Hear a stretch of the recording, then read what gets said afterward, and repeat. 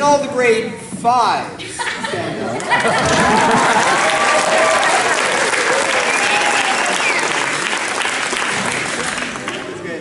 Okay, thank you very much, everyone. It's been a pleasure tonight playing for you.